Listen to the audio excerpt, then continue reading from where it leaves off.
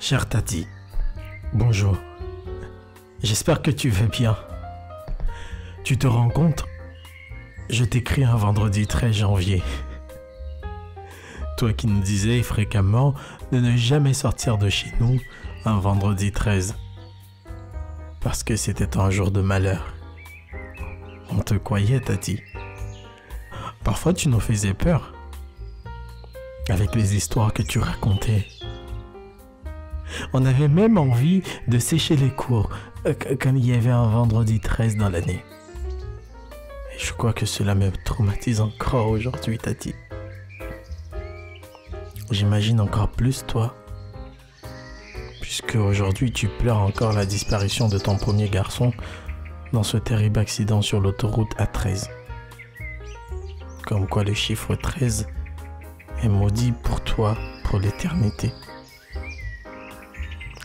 Mais Tati, si je t'écris, c'est pour te dire que c'est peut-être aussi un jour de chance le 13, le vendredi 13. Faudrait que tu essayes au moins, au moins une fois de l'affronter. Après tout, c'est peut-être un jour comme les autres.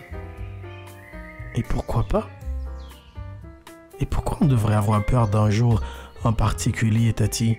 Moi, par exemple, Tati, ce matin, j'ai acheté une carte à gratter dans un bureau de tabac. Et j'ai gagné. Bon, j'ai gagné moins que le prix que je l'ai payé, mais l'important, c'est que j'ai gagné. Donc, c'est un bon jour. C'est un jour de chance. Alors, je t'en supplie, Tati, va boire un coup avec tes copines dans le bistrot d'à côté. Oublie toutes ces superstitions et sois heureuse au moins jusqu'à samedi 14 janvier. Par contre, Tati, une dernière chose. Quand tu pars au bistrot, n'oublie pas de fermer ta porte à clé. On ne sait jamais. Après tout, c'est un jeu comme tous les autres. Peut-être que les voleurs rôdent autour de ta maison.